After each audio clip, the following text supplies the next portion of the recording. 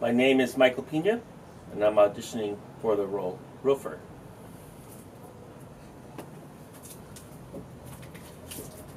Take one.